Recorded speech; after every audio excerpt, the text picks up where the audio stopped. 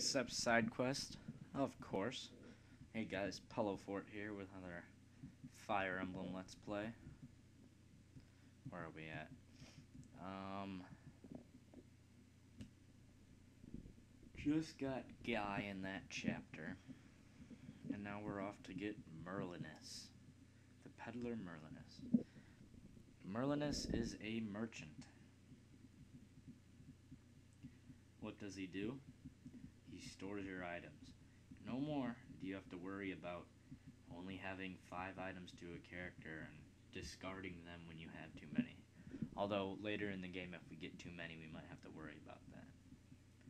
We can make more informed decisions with who we give our items to and buy swords in bulk and distribute them when they really need it and vulneraries. It's really good. That right there, the mustachioed fella, that's Merlinus. And we're defending him from bandits.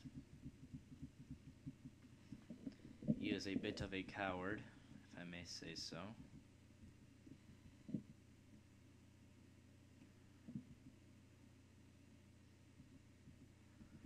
And to be blunt, I'm not really sure what the best way possible to go about this chapter is.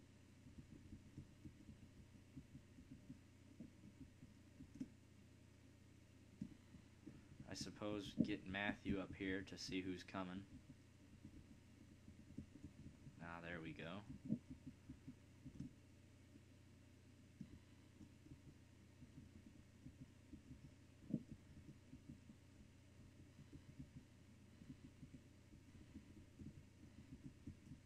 Get him. That won't do it. Won't do it.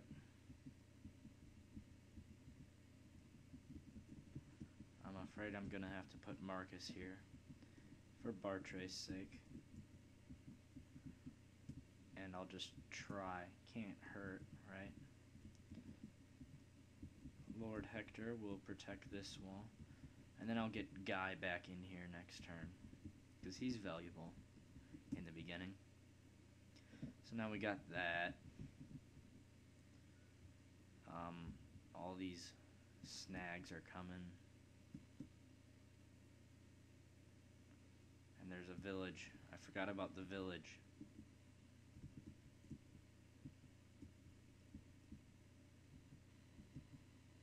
This is a little dangerous to split up like this. Especially just to have one person do it.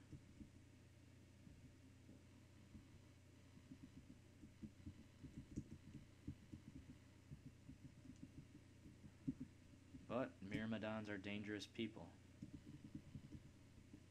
Um, let's see here. Get him. Yes.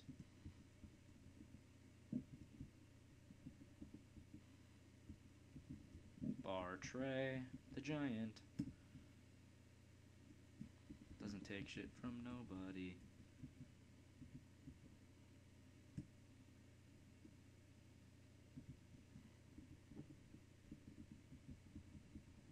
Gonna send Marcus out here after he trades Dorcas the mine that could be horrible if he lost. And typically I do not use um what's your call it? Can't even think of it. God, I do not use Marcus. That's what I'm thinking of that often. But this will be an exception.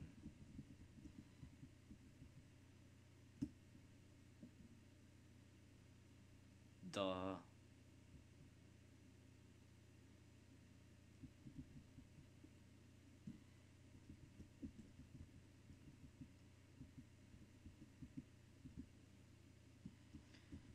Hopefully he can get to the village in time.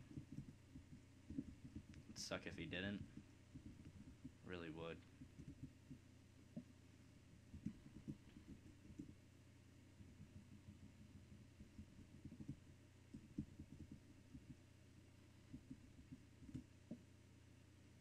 That sucks.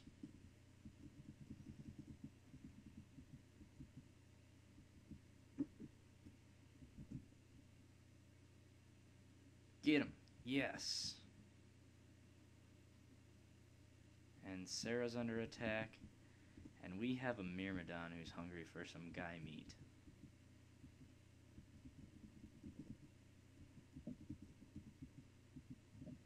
I'm sorry, hungry for some Bartre.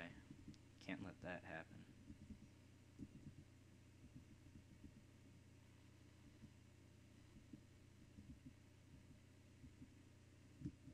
Gotcha.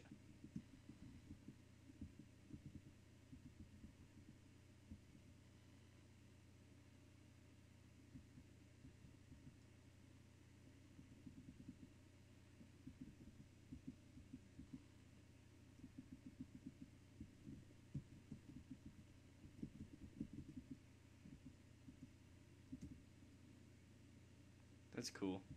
Get him. And we're safe over there for a while. And then here's the boss. I don't know what we get if we kill him except for a lot of XP.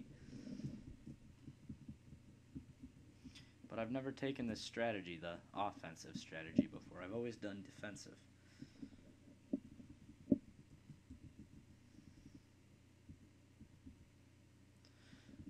Let's see, what's this guy's range? Oh, right there. Would you look at that? Come on. I know you want guy meat. That sounds so gay. 5,000 gold. That is very worth it. I would risk my life for 5,000 gold. No. And unless an archer comes out there, Serra's gonna be safe. But just in case.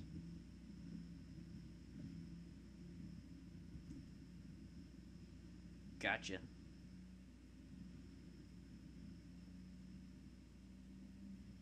Ooh. Ooh, ooh, ooh.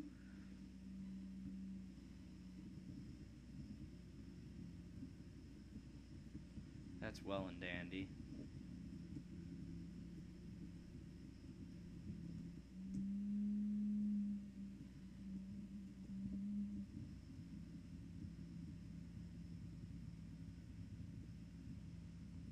Iron sword, yeah, oh. Uh huh. Gotcha.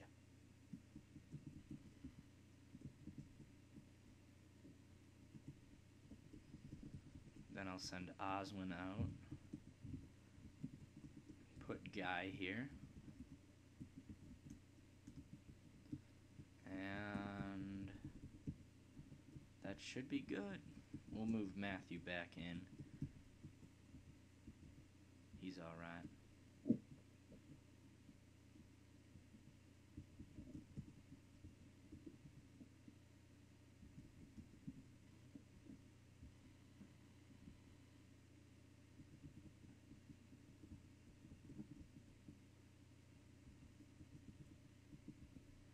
And it's risky, it's stupid, but I won't do that yet.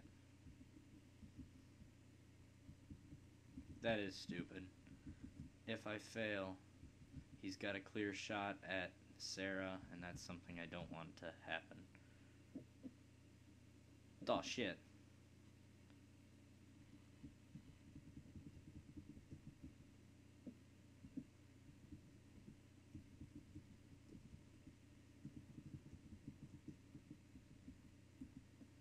Get him with your sword. Sword. Proper.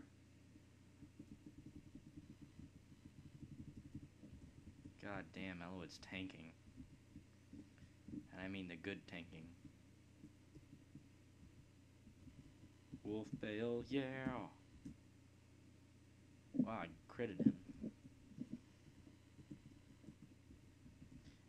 And now for something even stupider and riskier. Killing the boss. What'll this do? A lot of XP. Not end the game.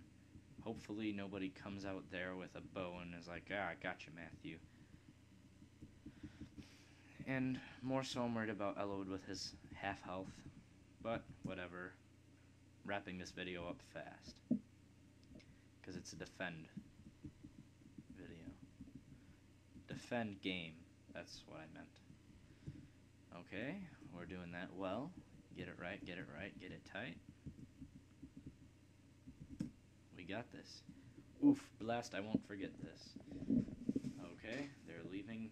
Merlinus is safe, and he will join us on a the rest of our journey. Except for the last chapter. Spoiler.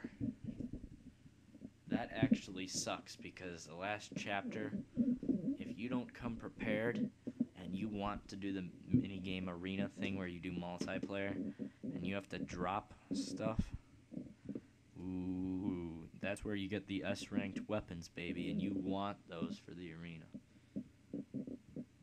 Okay. So Eliwood's the polite one, like, oh, um, please, Merlinus, accompany us.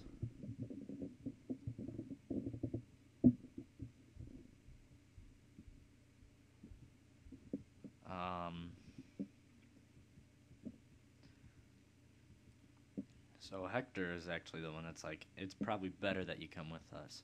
And Merlinus is like, ah, you're rich, I want this.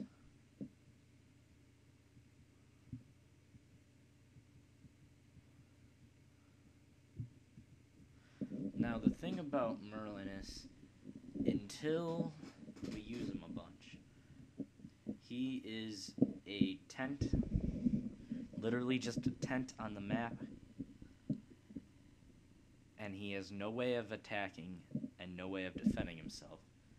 So, typically, we have to leave somebody with him to guard him, and if he dies, he's not like the rest where he dies for good and all our items are gone. It's just you can't use him next turn, and he doesn't gain a level. He gains one level for each chapter he stays alive. Side quests included. And it turns out that later on you'd probably want to leave somebody with him anyways because you get more and more reinforcements. And those reinforcements start to get ugly after a while. So really it's not a whole bad thing. So I'll cut the video here. That was chapter 13X. Have a good day, guys. This is Pellowfort.